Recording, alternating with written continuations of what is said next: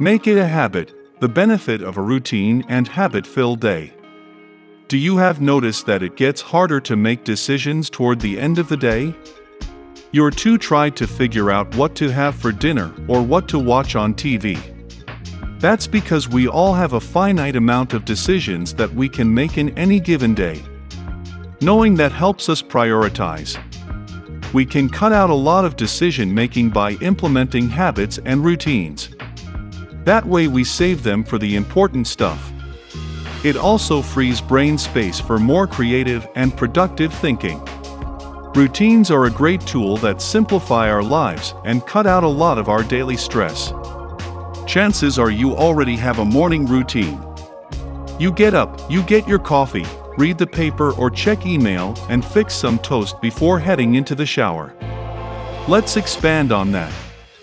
If you create a uniform for yourself, you don't even have to think about what to wear. You just grab a pair of pants and a shirt, or a skirt, tights and sweater, and off you. Implement some routines into your workday wherever possible. Meal planning helps you figure out what meals to fix and eat. A cleaning schedule makes sure you stay on track with your household chores without you having to spend any valuable decision making skills in the process.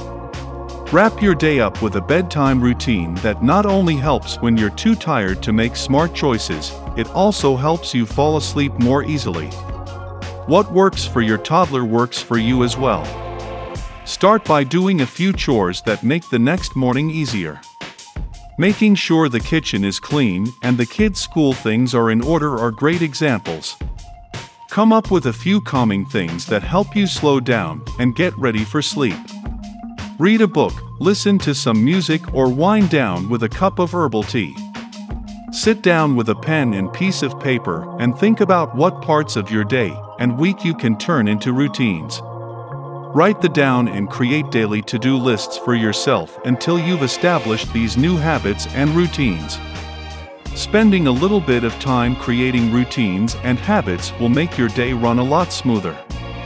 You might just find yourself less stressed and get more done during your productive hours. And that's a beautiful thing. It allows you to save plenty of decision making for the fun stuff like figuring out what park to go to, what family movie to watch or what board game to play. Thanks for following this series.